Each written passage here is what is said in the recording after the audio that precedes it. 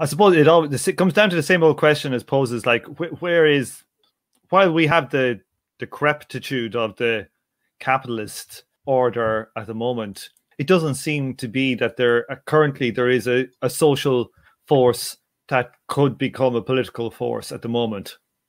Yeah, it's a it it I I am not persuaded yeah, of this. I know that people repeatedly say this goodbye to the working class. It's a standard damn thing. The Euro communists, I say this again because the Euro communists were saying the working class is fuck, that's it in the 1980s. There's going to be no big mass strikes and mass struggles. It's over.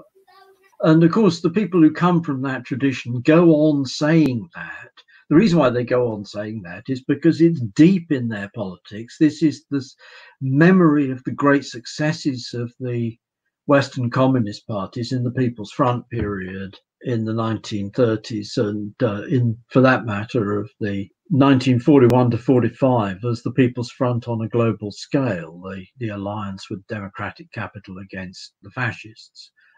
The Great Patriotic War the People's Front governments in uh, Western Europe in the immediate post-war period, and so on and so forth. And that's their commitment. It's uh, the theory changes. One moment it's uh, China is going to rule the world. It's another. It's um, or the, the the stuff has been rebranded as from was called structuralism, and then it was called post-structuralism, then it was called postmodernism, and most recently it's been called post Marxism. The underlying commitment is simply a commitment to the People's Front.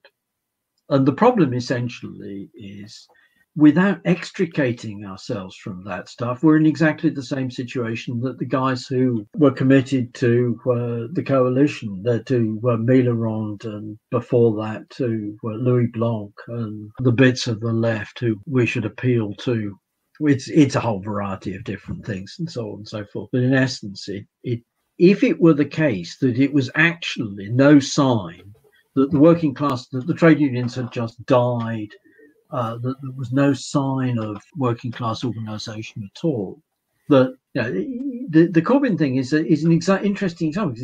You've got this surge of a couple of hundred thousand people into the Labour Party simply on the basis that it holds itself out as the party of Labour.